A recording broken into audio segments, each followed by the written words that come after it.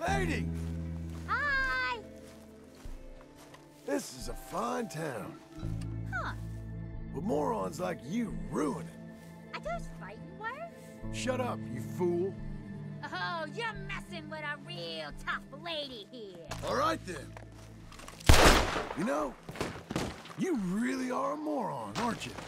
I mean, they should give you a prize.